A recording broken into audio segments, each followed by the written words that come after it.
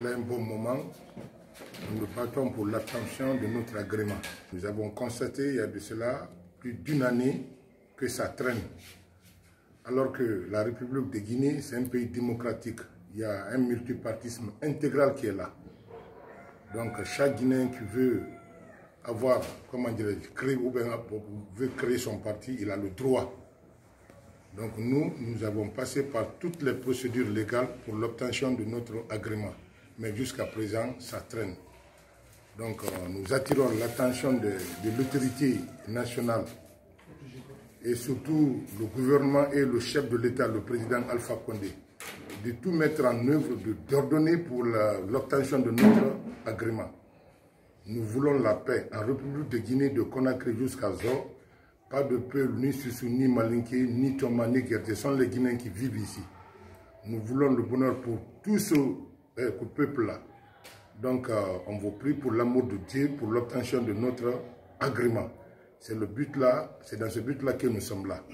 Donc, tous ceux qui peuvent euh, faciliter l'obtention de cet agrément, vraiment, ça nous ferait un grand plaisir. Je vous remercie. Vive la paix, vive l'unité nationale, vive le parti pur. On vous a fait appel aujourd'hui pour vous faire part de ce que nous avons euh, mis en place pour ce qui est du bureau exécutif euh, du Parti de l'Unité et du Renouveau. Aujourd'hui, les militants et les sympathisants du Parti de l'Unité et du Renouveau et les hommes conscients en Guinée sont tristes. Tristes pour les efforts consentis pour l'avènement d'une démocratie, d'une vraie démocratie.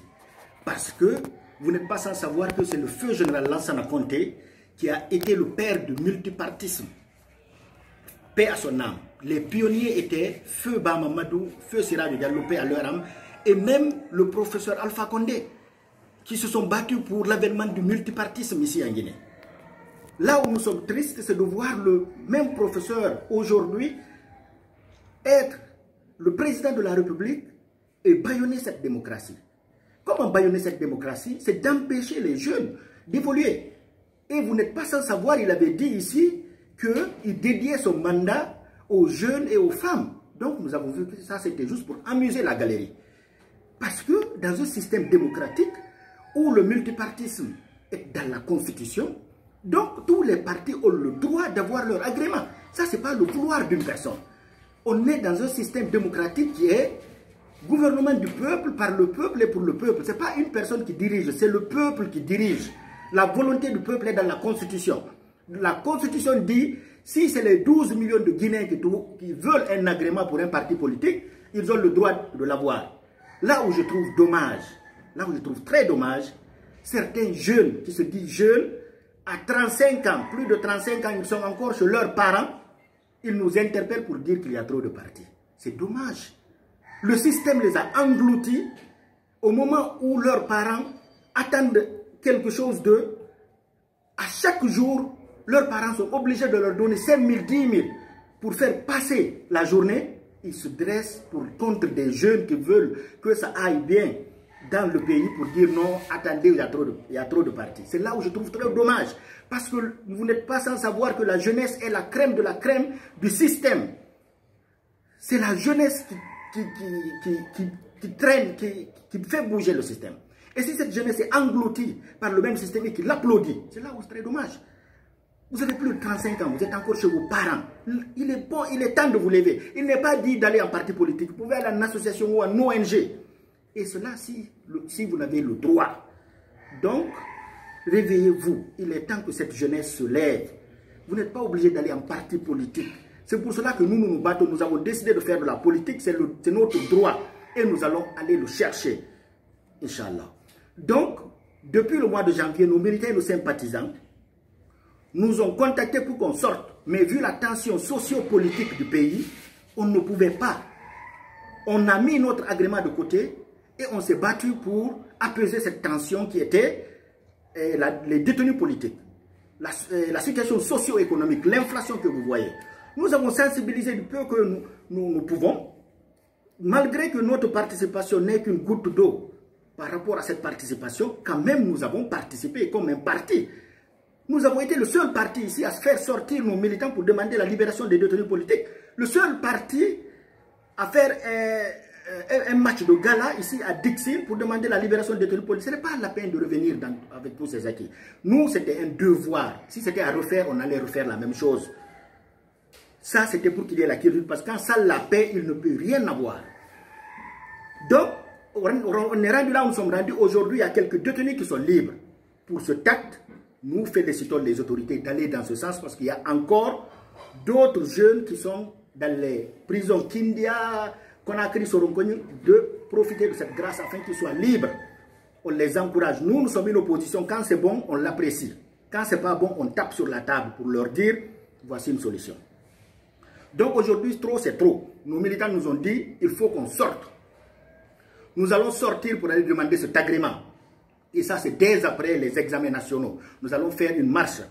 Notre marche a été toujours pacifique. Ça, je tiens à le rappeler.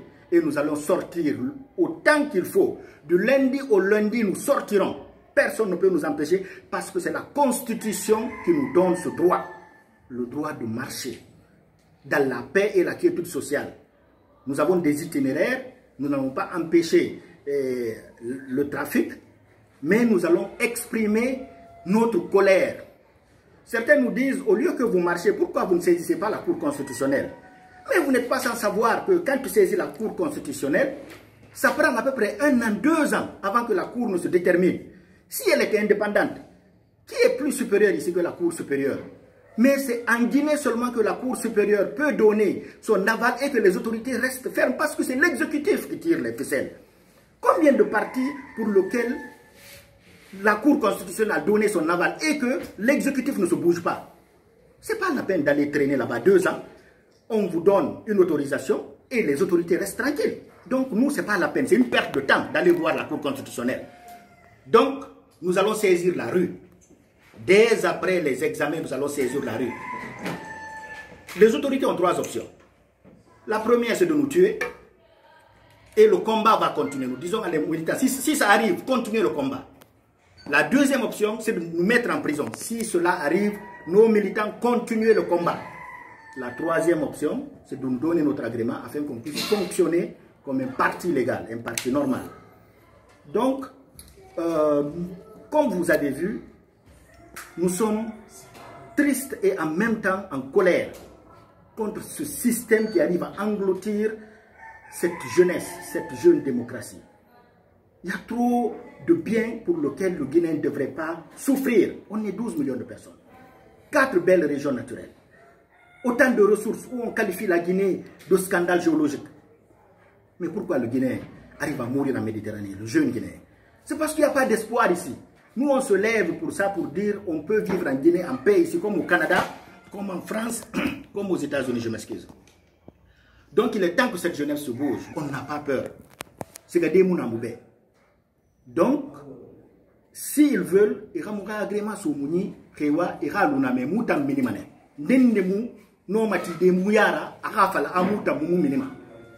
Dans la constitution, dans la paix, geme miri kombima, moumu miri fama. Mais sur mouyi, moura fala, autorité be, agrément. Parce que nan namoura. La Guinée le royaume de. Monarchie. Chacun est libre de vivre ici. Donc, ce qui fait que nous allons sortir dès après les examens. D'ailleurs, si on n'avait pas arrêté nos militants, ils étaient prêts à sortir. Donc, on les a dit pour le bien de la nation, vu que les enfants sont en plein en période d'examen, il est temps qu'on mette d'abord notre intérêt personnel de côté et puis on aille de l'avant. Je suis triste pour le professeur Alpha Condé. Je suis triste pour la jeune démocratie guinéenne. Je suis triste pour les Guinéens. Triste pour le professeur Alpha Condé, il s'est battu pendant plus de 40 ans. C'est notre Mandela, s'il le faut. Mais comment il veut qu'on l'appelle Mandela au moment où lui-même, il torpille cette démocratie? Comment il veut qu'on l'appelle Mandela au moment où il va, il va à l'encontre de la volonté du peuple? C'est impossible. Donc nous aimerions être fiers de lui, mais ça dépend de ses actes, lui le professeur Alpha Condé. Donc il y a une partie de son entourage qu'il a pris en otage. Il faut lui dire la vérité. Il faut dire au professeur Alpha Condé, des fois il donne des ordres, mais les ordres ne sont pas exécutés. Donc c'est pour cela que nous, nous allons tout droit vers lui pour lui dire, Monsieur le Président, la jeunesse souffre. Impossible d'avoir un agrément fonctionner. Un agrément, ce n'est pas besoin d'un salaire.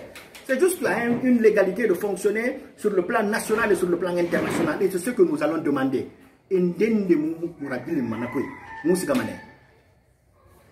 Donc, ils sont avertis. Ils connaissent chez nous, comme ils ont l'habitude de faire, de kidnapper les gens. Ça ne nous effraie pas. Comme on l'a dit, on n'a pas où aller. La Guinée, euh, camion qui est sur Mouyiradi, Moutambare Bénin. Donc, la seule chose qu'ils ont à faire, c'est de nous foutre en prison ou de nous tuer. Ça, c'est fini. Mais ce qui est sûr, le combat va continuer. Ça, c'est certain. Et personne ne peut nous effrayer parce que nous, nous n'avons pas la violence. Nous avons la paix. Nous voulons même du bien pour le professeur Alpha Condé. Parce que si le système n'est pas démocratique, tu n'as pas d'agrément, comment veux-tu avoir des subventions de l'extérieur? Les ONG savent ce qui se passe ici. Donc il est temps que l'entourage se bouge. Parce que des fois, ils donnent des ordres, mais les ordres ne sont pas exécutés parce qu'ils n'aiment pas le professeur Alpha Condé. Si on aime le professeur, au moment où il est rendu là, où il est rendu là, plus de 80 ans, c'est de l'alléger les souffrances, de prendre les responsabilités afin que certaines choses ne l'arrivent même pas. Pour dire le ministère de l'administration territoire, si la documentation est légale, donnez les papiers. Ce n'est même pas la peine de m'appeler pour ça au niveau de l'énergie, au niveau de l'armée, au niveau de tout. Il a fait des ministères pour ça. Mais les gens attendent à ce que lui, il prenne, il prend son téléphone, il appelle pour que ça bouge. Et c'est là où je suis triste pour le professeur Alpha Condé.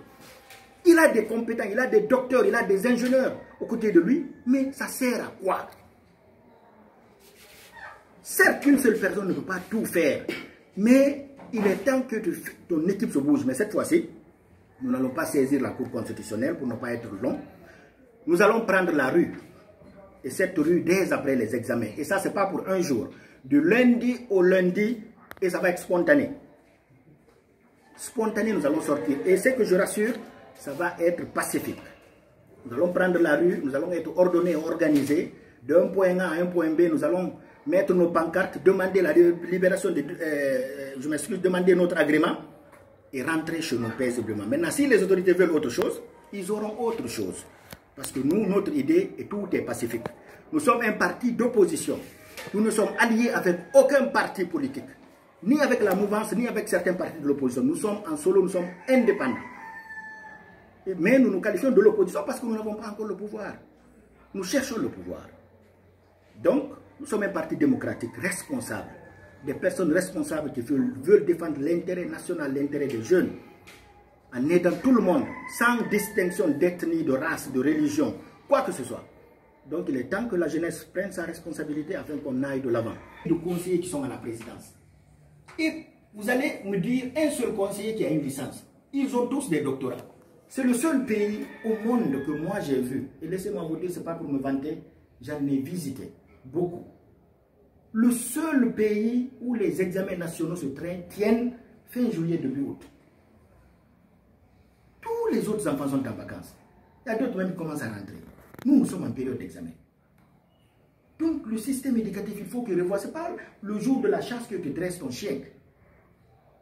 Il faut qu'il mette un temps bien défini. Nous, à notre époque, lorsqu'on faisait le primaire, l'école commençait le 25 septembre. Après, euh, comment dire, on avait une période du 27 et du 2 octobre, c'était des vacances. Mais l'école en tant que telle, euh, vous, arrivez à vous connaître, vous côtoyez, vous les jeunes, mais à partir de 3, 4, 5 maintenant, l'école, nous c'est comme ça que moi j'ai vécu mon collège, mon primaire et mon collège, et même le lycée. Maintenant c'est dommage de voir que l'école commence au mois de novembre, des fois même décembre, on arrive à faire des examens au fin juillet. Quand je dis ça à certains amis au Canada, ils sont, attends, mais qu'est-ce qui se passe dans votre pays? Il n'y a pas des gens qui réfléchissent, qui savent, regardez, les pluies diluviennes. Aujourd'hui, c'est une chance qu'on a eue. Une chance qu'on a eue, il y a eu l'accalmie de la pluie, Maintenant, ce qui est grave, nos enfants les plus jeunes, l'examen et le brevet, ils vont commencer, je pense, la semaine prochaine. Alors, cette pluie diluvienne, donc c'est le temps et le lieu de sensibiliser les parents. Accompagnez vos enfants. Accompagnez vos enfants. Restez avec eux pour une semaine, ça ne vous gâte en rien. Restez avec eux, qui terminent leurs examens, qui ramenez-les à la maison. Avec cette pluie, il y a des risques que les enfants là se noient. Donc, prenez vos responsabilités. Il ne faut pas dire que vous allez donner le prix de moto-taxi à vos enfants. Taxi, ils vont partir à l'école. Non. Accompagnez vos enfants pour faire la période d'examen.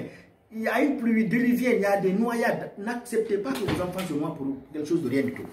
Donc c'est sur ça que je voulais attirer l'attention afin qu'on se donne la main et que le système éducatif puisse se relever.